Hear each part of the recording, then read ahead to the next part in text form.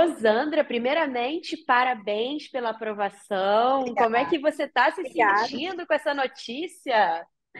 Ah, eu tô feliz. Tô feliz porque demorou, mas valeu a pena.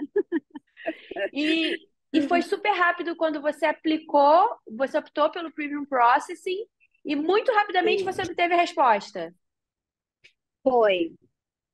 Na verdade, eu queria esse Premium Process há um tempo. Desde que abriu a possibilidade do EB2 ter o Premium Process, eu tinha conversado com o Leonardo, né, e com o João, que eu queria aplicar para o Premium Process. Naquele momento, Uhum. eles falaram que talvez não seria interessante, porque eu tinha acabado de receber uma RFE, e eles falaram, Sandra, já está no final. Acho que não vale a pena você é, investir numa coisa dessa, gastar um dinheiro agora com isso, já está no final, né? Uhum. E eu, eu atendi, eu entendi a, a informação deles, né?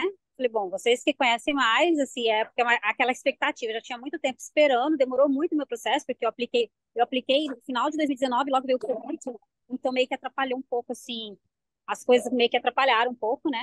Porque aí eu fiquei, eu recebi o Work Permit super rápido, em três meses, e recebi o Work Permit super rápido, eu recebi as coisas rápido, mas depois ficou tudo parado, o processo ficou todo parado, né? Uhum. Então foi bem complicado e eles falaram assim, não, já tem muito tempo você esperando e eu acho que agora vai ser rápido, não compensa.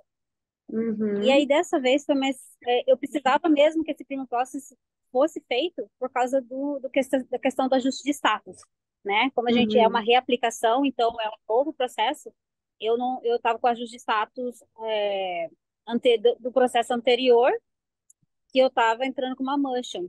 Então, aí eu conversei com o Leonardo, e o Leonardo falou assim para mim, não, você tem razão, dessa vez eu acho que vale a pena você entrar, acho que dessa vez né, a gente tem por quanto tempo, porque você tá com uma motion para ajuste de status, e o Premium Plus vai ajudar muito, porque se sair uma aprovação, você imediatamente a gente pode pedir uma portabilidade, né? Só que ninguém esperava que fosse sair um dia, né? Para você Foi ver, né? incrível. Eu posso falar para você assim, é, foi uma coisa assim, foi, eu posso falar pra você assim, foi um milagre de Deus, porque assim, eu tinha mais três dias para mandar a, a motion, né? O, Aham. o Márcio já tinha falado para mim, Josana, eu preciso mandar porque vai vencer seu prazo, porque a gente eu achava que era 30 dias, mas na verdade eram 18, né? Para poder manter meu, meu work permit. E aí ele falou assim, eu falou assim, eu falei, mas se eu aplicar agora, se eu mandar agora, antes de ter a resposta do premium process, eu vou ter que pagar de novo, porque eu tinha que já pagar pela essa motion e depois eu teria que pagar de novo, né? Aí ele falou assim, Josandra, é melhor correr o risco de ter que pagar de novo do que você correr o risco de perder essa permissão de trabalho. Você, né, enquanto você tá com a motion, você tá, tá garantida, né? Aí eu falei, É, então exatamente. Aí no outro dia, eu não mandei naquele dia. É, e eu não mandei naquele dia, porque eu, eu- na minha cabeça eram 30 dias, eu falei, não, por que que, eu, por que que o Márcio tá me mandando isso, né? Não, vou deixar para perto dos 30 dias para sair a resposta, né? No outro Josandra, dia, deixa eu te interromper. eu É, fui e falei, só, Márcio, vou te mandar deixa eu isso te amanhã. interromper rapidinho, Pode falar. desculpa. A edição depois dá uma Tá, arrumada falar. nisso. É que eu preciso que você encontre um lugar que a internet Tá. esteja bem estável, porque a sua, a sua imagem fica congelada por um tempão. Ai, desculpa, deixa eu ver. Você vai me falar onde que vai ser melhor, então. Uhum. Porque eu tô, tô- tá, tá melhor? Como tá? Eu não, É, você é, começa a falar e do nada você para e fica, sua imagem fica congelada por um tempão. tá. E agora, melhorou? O áudio tá ruim também. Deixa eu ver. É que se eu sair, eu não Ó, vou você já entrar. congelou de novo. Você já congelou de novo. É, eu tô tentando procurar, porque eu tô olhando aqui pelo, pelo meu celular como que tá. Tem dois pontos da internet. Deixa eu ver onde que eu acho mais internet aqui.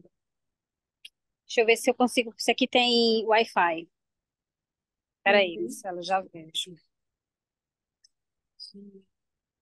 Deixa eu procurar o Wi-Fi, que vai ser melhor, porque acho que dentro aqui fica meio complicado, né?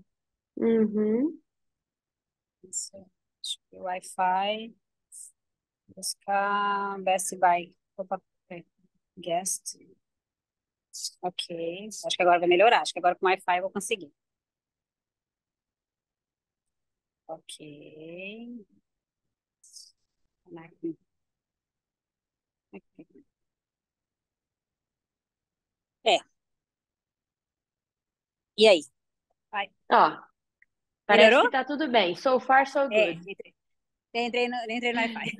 Tá, Vamos, então, vamos então continuar. tá. É, você tinha, você estava falando que preferiu esperar. É, porque assim, o que acontece? Meu processo, eu, eu recebi, porque era uma motion da motion. A primeira motion que a gente, que a gente aplicou, a primeira carta que eu recebi da negativa da 485, né? Que era lógico, porque tinha sido negado o meu primeiro I-140. Então, é lógico que eles negariam o 485 ajuste de status também, né? E aí a gente tinha feito uma motion. Nessa primeira carta que eu recebi, eles tinham falado que eu tinha 18 dias para encaminhar uma, uma motion, senão eu teria, eu, eu perderia todo ah, a minha permissão de trabalho, as outras coisas que tinha meu combo, né? E aí a gente mandou.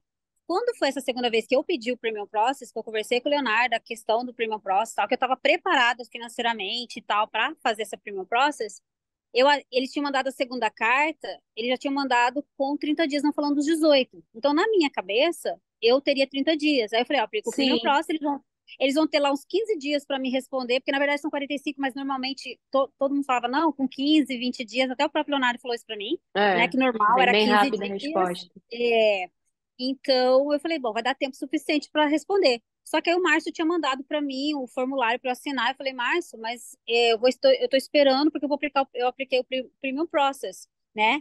E eu estou esperando para vir a resposta, né? Aí ele foi falou assim, não, é, falou, não, Josandra, você só tem 18 dias e faltam três dias, né? Aí eu falei, meu Deus, eu falei assim, eu falei, falou, não, porque a gente, é porque mesmo que nessa carta tenha 30 dias, a gente é em cima da outra, a outra eram 18, então você tem que cumprir os 18 dias. Eu falei, ok, falei, então vou mandar para você, vou ter que pagar duas vezes, mas tudo bem, né? E aí eu falei assim, eu orei, né? Falei assim, ai, Senhor, pelo amor de Deus, eu não queria gastar mais, né? Aprova logo esse negócio, dá um jeito, porque é muito gasto, né? Porque cada vez é um RFE, tem um gasto, tudo tem gasto, né? E é muito caro. Aí ele foi falou, aí eu peguei, beleza. Daí isso foi na, eu falei, Márcia, amanhã eu mando para você. Quando eu fui para mandar para ele, que eu fui imprimir os negócios, eu resolvi olhar meu e-mail.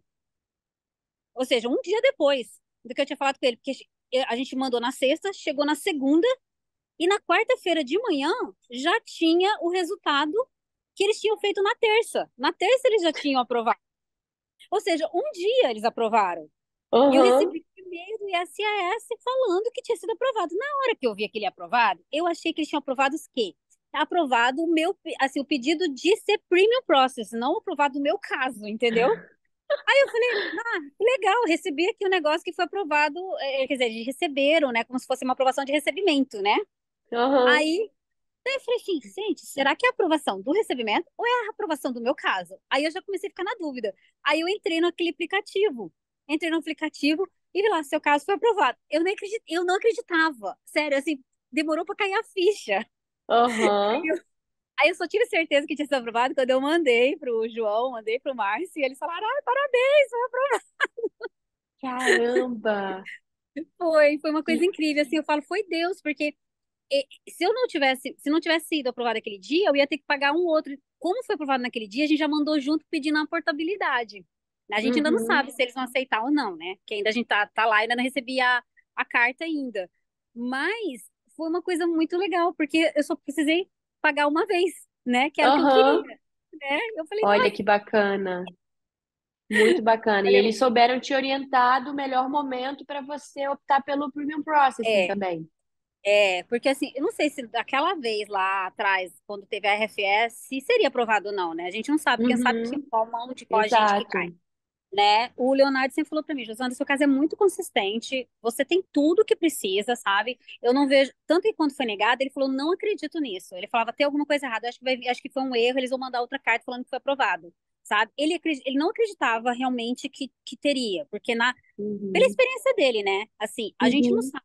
Eu sei que eu tinha toda a documentação, mas eu não, não, sabia, não tinha experiência dele em questão em relação ao EB2, essas coisas, né? Isso é a experiência deles. Então, eles que sabiam se meu caso realmente era um caso consistente ou não, né? E eu confiei neles, né? Falei, olha, Leonardo, tá nas tuas mãos, Exatamente. você, não tenho o que fazer, né? É lógico que a gente fica naquela angústia, né? A gente liga para advogado, manda mensagem, pelo amor de Deus, o que tá acontecendo? Por que que Com tá demorando? certeza. Com Mas, certeza, Josandra. É, eu ouço de vários clientes, é, tanto em aham, entrevista quanto em evento que a gente faz, que passaram por outros escritórios e que, diante de uma situação parecida com a sua, os outros escritórios, os outros advogados desistiram do caso, falaram, cara, ó, vai, arruma sua mala e volta para o Brasil. É. E aí, a Leão, eles são incansáveis. Eles falam, eu não acredito, não acredito, uhum. vamos tentar e vamos até o fim, porque é. eles não pegam quem eles não têm certeza que, cara, essa pessoa, ela tem total chances, ela faz, é, é, dá check em todos os requisitos da listinha. Uhum. E eles é. são incansáveis mesmo, os nossos advogados vão até o fim, e que incrível, né? É, a sua é. história. Teve RFE, teve. Foi, foi. Não, tem casos que são super rápidos, né? O seu não foi, foi, foi rápido depois do Premium Processing, mas que, que incrível, que história, né? E você é médica veterinária, né? Sou, sou médica veterinária e sou especialista na área de controle de qualidade de alimentos e inspeção, né, de produtos uhum. de origem animal. E eu trabalhava já 10 anos no Ministério da Agricultura, passei em concurso para agente de inspeção, passei para concurso de é, auditor fiscal do Ministério da Agricultura, né, e tinha cargo de gestor do Programa Nacional de Controle de Resíduos Contaminantes. Então, eu trabalhei muito tempo, né, ganhei vários prêmios no Ministério por pelo trabalho conquistado, realizado lá, né? Hoje a gente tem um programa que roda lá, que é essa questão de você verificar se tem hormônio na carne, se tem contaminante, sabe? Tipo mercúrio, uhum. Então, essa, esse era o meu programa que eu era gestora no estado. Uhum. E hoje tem um programa todo que é feito lá uh, no Ministério para exportação, que hoje o Brasil ele é, ele é aprovado para exportar alguns produtos por causa desse programa, entendeu? Que nós montamos o programa todo de, de informática, junto com o pessoal da informática, né, da TI lá do Ministério da Agricultura. Eu passei dois anos indo para indo para Brasília, ficando lá uhum. uma semana, 15 dias. Então, cada 15 dias eu ia para Brasília para poder ajudar a montar esse programa. Você então, é de onde? Isso, eu sou de Mato Grosso. Mato Grosso. Uhum. Isso. Então, isso tudo assim, quando, quando o Leonardo viu tudo isso que eu tinha, né? Porque na minha cabeça eu achava que tinha que ter mais. Eu achava assim, tinha um PHD, tinha que ter prêmios fora, né? Eu tinha trabalhos publicados. Não necessariamente. Tal, mas não, não imaginava que com isso eu teria. Ele falou, não, Josanda, você preenche vários requisitos dos oito que necessita. Então, Sim. dá para é um caso muito consistente, né? As pessoas as confundem, as pessoas confundem é, a carreira com o currículo acadêmico, né? Uhum. O 2NW não está vendo, não, não, não tá preocupado apenas com isso. Uhum. Com a sua parte acadêmica, está preocupado com a sua experiência, com a sua carreira, é. com a sua relevância, né, para o mercado. É, exatamente. E aí a gente acabou que o é, quando o Leonardo viu tudo isso, ele falou: não, eu acho que cabe aqui, tem muito, tá muito consistente, tem tudo. E quando a gente pediu as cartas, as cartas também foram todas de pessoas que eu trabalhei a minha vida. Então, era pessoas que eram presidente de conselho de medicina veterinária, federal, é, uhum. é, secretário de defesa agropecuária, sabe? Assessor do ministro da agricultura, entendeu? Porque eu trabalhei Uau. com pessoas, né? É, Quantas cartinhas você precisou? Eu fiz seis, mas eu tinha mais. Só que aí o Leonardo falou: não, vou mandar seis, se precisar mais a gente te manda, mas não precisou, graças a Deus. Mesmo com a, com a quando eles é, negaram, eles falaram que a parte de elegibilidade eles não tinham mais o que contestar, que eu não precisava mais provar nada. A única coisa que eles negaram foi a questão da, do interesse nacional. Entendeu? Tendo em vista que eu, como quando, nesse meio tempo, por causa do Covid, eu fui trabalhar com um groomer, como banhosa porque eu não conseguia achar emprego na área que eu queria, que era na área mesmo de alimentos. Eu queria trabalhar numa indústria de alimentos, eu queria, né? Porque eu, tinha, eu tenho mestrado nessa área, né? Todo o meu negócio é nessa área. Só que eu não conseguia por causa do Covid. Então eu fui trabalhar uhum. com banho tosa. E aí eu montei minha loja de banho tosa. Então hoje eu tenho um pet grooming com banho tosa e pet store. E, e eu montei em cima disso. Então a gente acabou fazendo um business plan em cima disso para provar o interesse nacional. Porque hoje o que, que acontece? Eu, eu, eu trabalho com pessoas que não sabem trabalhar nessa área, eu ensino, uhum. com pessoas que têm alguma deficiência, algum problema, pessoas de mais idade. Eu tenho um senhor lá que ele tem 72 anos de idade, ele é groomer 56, ele trabalha comigo, entendeu? E eu tenho pessoas também, por exemplo, eu estava trabalhando agora, eu tinha uma baby que agora ela teve que ir embora para Nova York, por causa de um problema da mãe dela, mas ela morava no carro. E eu dei oportunidade de emprego para ela, então ela estava conseguindo sair do carro, juntando dinheiro para poder ter a casa, para ter um lugar para morar. E eu estava ensinando ela a função, né? Então Uau. a minha função é essa. É, e eu tenho também um, uma parceria com uma escola particular que, as, que eles, os alunos fazem o career aqui, né? E Uhum. eles vão para minha loja fazer um internship comigo, entendeu? Na, na- no cuidado dos animais. Então, porque a loja lá não é só banho e tosa, é tem todo um cuidado com o animal, sabe? Um respeito ao animal. E se ele tem algum problema, assim, de pele, algum problema de ouvido, alguma coisa, a gente informa o proprietário, a gente mostra como que é, a gente pede para encontrar, é, entrar em contato com o veterinário. Eu tenho uma parceria com o The Vets, que é uma que é um pessoal veterinário que eles vão até o local na casa da pessoa e fazem todo o acompanhamento veterinário dos animais, entendeu? Uau. Então a gente está fazendo uma coisa diferenciada. A gente está fazendo uma coisa diferenciada. incrível. Uma E aí- mudança aí na narrativa, né? Você queria trabalhar com Exatamente. alimentos, que é a sua área, né? Aham. A princípio, e agora tem uma pet. E tá Então, aí impactando várias vidas. Exatamente, porque assim, a minha ideia, eu ainda quero validar meu diploma, mas eu não quis colocar isso no, no, no meu processo, porque eu não sei quanto tempo isso leva. E, eu, né, e a minha preocupação era porque que você precisa viver aqui também, você precisa ganhar dinheiro para você se manter aqui. Então eu não queria me dar um prazo para isso, né? Eu tenho estudado para isso, eu tenho buscado, eu estou participando de vários grupos, entendeu, dessa área, mas eu preciso parar para estudar para fazer isso, né? Aham. E, mas eu queria trabalhar com animais, eu não queria perder isso que eu tenho, né? Essa experiência toda que eu tenho. Porque apesar de eu estar, de, os últimos 10 anos eu estava trabalhando na área de alimentos, eu, tra, eu tenho 25 anos de formada. E meu, prim, Uhum. meus 15 primeiros anos eu trabalhei com, com pequenos, entendeu? Eu trabalhei Uhum. com clínica, com cirurgia, né? Então eu falei, eu quero ficar nessa área. E aí eu queria fazer Uhum. uma diferença, queria fazer uma coisa diferente do que eles tinham aqui, entendeu? Então as pessoas entram na minha loja, ela vê uma loja bonitinha, fofinha, que é uma loja toda arrumadinha, toda coloridinha, entendeu? É uma coisa diferente, é, é tudo com vidro, então as pessoas me veem no serviço, sabe? E há um cuidado de você entrar em contato com o cliente, perguntar, entendeu? Quando o animal está doente, eu, eu falo com o cliente, eu ainda pergunto, eu entro em contato, falo, você levou, o que, que o veterinário falou e tal, entendeu? Então é, é uma coisa assim que a gente queria com carinho, né? E a ideia Uhum. E vamos ver, não sei como que vai ser, né? Mas a gente está tá apostando e está tentando para fazer mais. A gente ainda não investiu mais por causa da questão mesmo que tava, como teve essa negação, eu falei, vamos Uhum. segurar. Porque eu não sei se vai aprovar, né? E se não aprovar, como que eu vou investir aqui e não vou estar aqui, né? Não, agora com o Green Card, seus investimentos, a sua energia, tudo, investimento de tempo, de energia, de dinheiro, vai ser tudo pro seu negócio agora. Tudo, tudo. Não, meu marido falou vai ser outra vida, né? Porque a gente estava esperando isso, né? Precisava disso para a gente poder focar de novo, né? Ver o que a gente Uhum. quer. E eu quero agregar, sim, por isso que eu quero validar ainda meu diploma, porque eu quero agregar ao PET um tratamento holístico, um tratamento diferencial, como hepatia, alguma coisa assim, entendeu?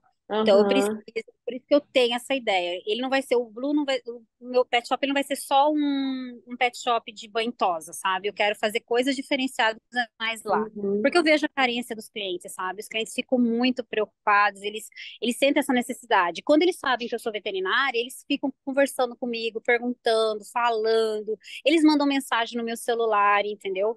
E é Uhum. bem legal. Bom legal você dar essa atenção pro cliente, né? Com certeza, Josandra. Ai, que história incrível. E você tá aí com quem? Marido, filhos? Eu tô só com meus dois filhos, meu marido tá no Brasil ainda porque eu não apliquei junto com ele. Porque como ele é Ah, advogado, a gente tem negócios no Brasil, não dava para aplicar ao mesmo tempo. Mas assim que certo. sair o Green Card, já tá tudo preparado, o Leonardo já tá sabendo, já tá no nosso contrato, que assim que sair o Green Card, aí a gente vai aplicar pro meu marido. Talvez ele tenha que esperar no Brasil, né?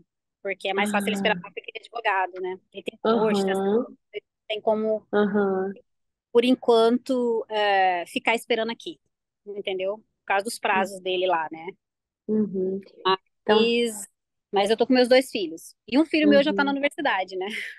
É, você foi, você foi quando para ir para os Estados Unidos? Eu vim pra cá em 2017 com visto de estudante, eu vim, né? Que eu, eu Uhum. vim pra aprender inglês mesmo, né? Porque minha história é assim, eu não vim pra morar. Eu vim aprender Ah, inglês por causa do conta. Ministério da Agricultura, porque eu emitia certificado internacional de produtos nos Uhum, frigoríficos e eu não sabia inglês direito. Aí ficava uhum, no Google, né? E aí não pode, porque a gente precisa realmente conferir todos os documentos e tal. E eu assinava embaixo, dava a minha chancela, né?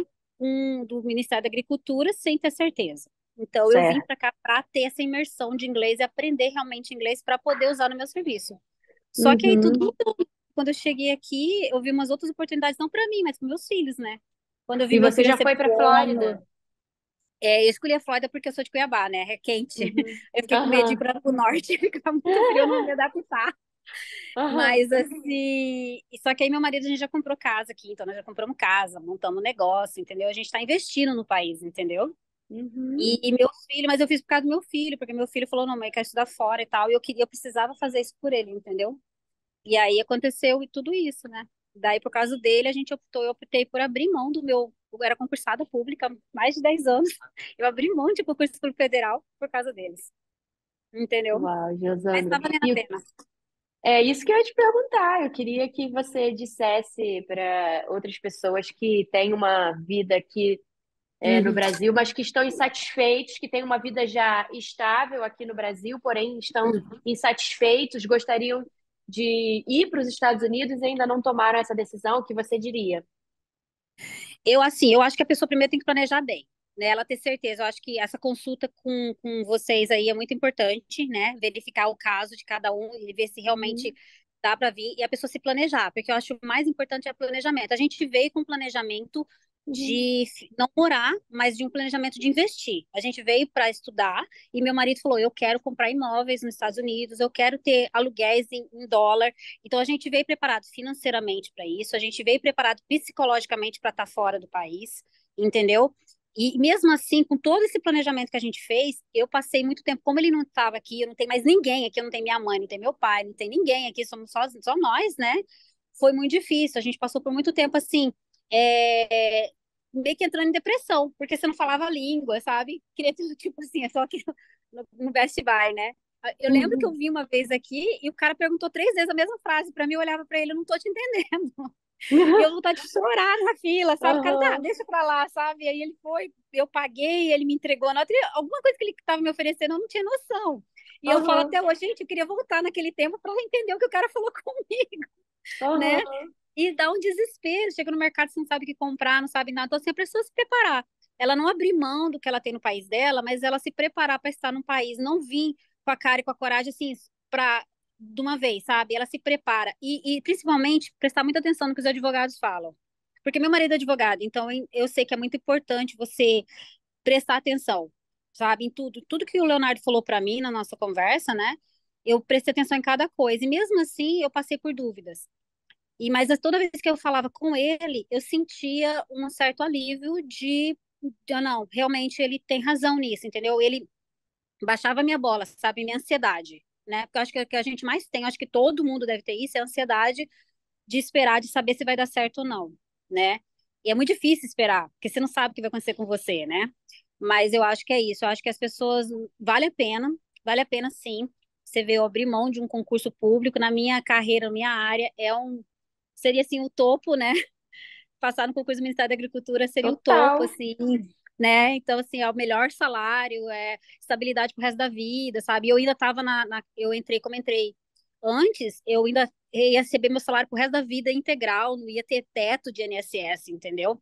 Então, você imagina se abrir mão de tudo isso, de uma estabilidade, uma vida tranquila, para você tentar uma coisa muito nova, né? Muita gente falou, você é louca. Até hoje, eu, às vezes, eu encontro algumas pessoas que são veterinárias e a pessoa fala assim, você, você é doida, você é doida você ter feito isso, né?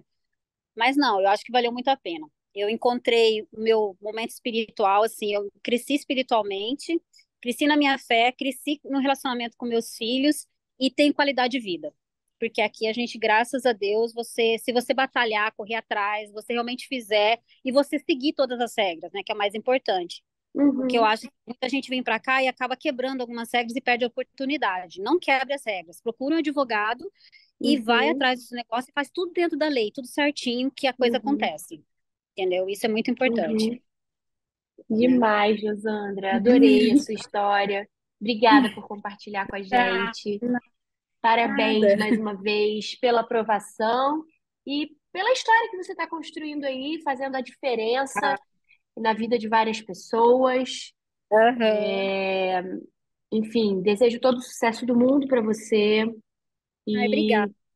e, e, enfim, gostaria de é, dizer, acrescentar mais algumas palavras finais. Ah, só que busque seu sonho, não desista. Eu acho que é Uhum, isso. Não desista e creia, né? Creia, tenha Uhum, fé e sabe que vai que dá certo, né? Mas assim, importante mesmo é ter também assim, procurar bons profissionais, porque isso foi muito exatamente. importante para mim. Quando eu- o Leonardo, eu acho que quando a gente pegou o Leonardo estava iniciando toda a Leão Group e na conversa dele a gente sentiu uma firmeza nele, entendeu? Foi isso que fez a, Uhum. gente- a- toda essa empolgação dele, todo esse amor que ele tinha, todo esse conhecimento que ele mostrou pra gente foi muito importante pra gente acreditar neles, né? E Eu o sei que deu um pouquinho de tá aí. trabalho, é, e o resultado tá aqui, né? O Agora é só tá esperar o aí. brincar. E para a gente é muito gratificante, de verdade, É, de verdade. Ter clientes como você é uma coisa maravilhosa para gente. é, Só alegria. Aproveite, aproveite essa alegria. Viva esse momento aí com Obrigada, os seus. Obrigada mais obrigada. uma vez. Um beijo grandão. Outro pra você. Tchau, tchau. Tchau, tchau.